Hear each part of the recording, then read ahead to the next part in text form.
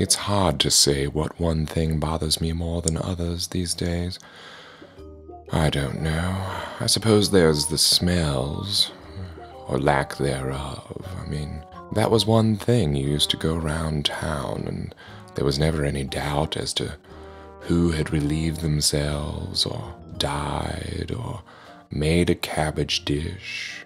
But these days, people have covered themselves in deodorants, or mouthwashes, or, oh, I don't know, potpourri.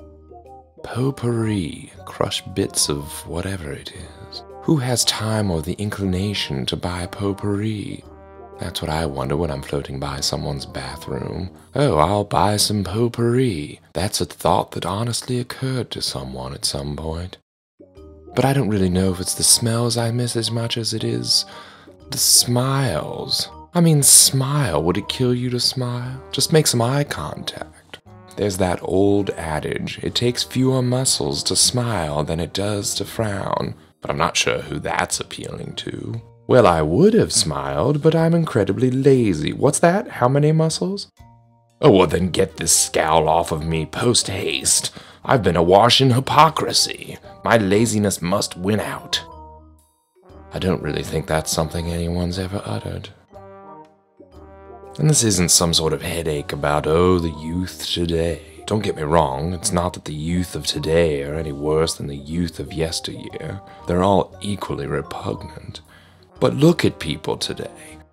I don't mean that as a figure of speech, I mean honestly, take a second to look at people. Pull your head out of your bleep blop doodad and have a gander. OMG ad infinitum. Granted, back in my day, there wasn't much to do other than look at each other.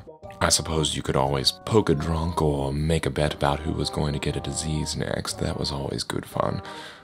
But my point is that you had to look at people, and I don't think that was an incredibly bad thing. Sort of gave you a sense of, I don't know, community. So look around and smile.